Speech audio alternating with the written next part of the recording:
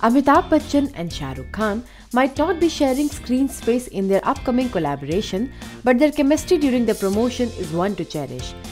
During a promotional event, Shah Rukh Khan asked Big B about a photograph that he had posted long ago on social media where he was seen in a shirt and dark sunglasses with his legs on full display. Mega star Amitabh Bachchan, who often treats his fans to snapshots of some of his treasured memories by sharing photographs, feels it was a huge mistake on his part to share one in which he was wearing swimming trunks.